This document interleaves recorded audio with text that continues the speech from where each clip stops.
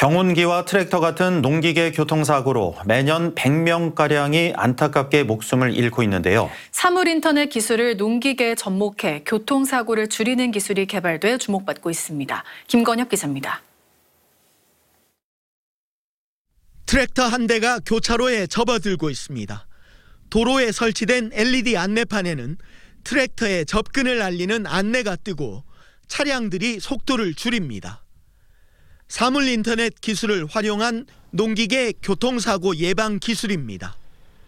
농기계에 부착된 단말기와 도로에 설치된 안내판을 연계해 농기계의 종류와 위치를 알려 사고 발생 가능성을 줄이는 겁니다.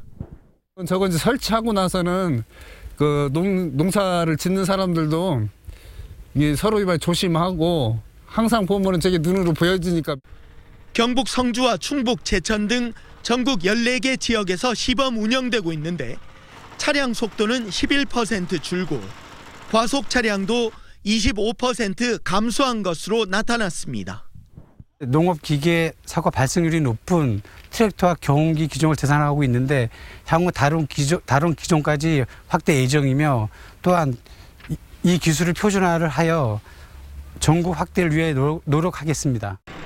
농기계가 넘어지거나 뒤집히는 사고가 날 경우 작업자의 신원과 위치 등이 자동 전송되는 시스템도 추가로 보강됐습니다.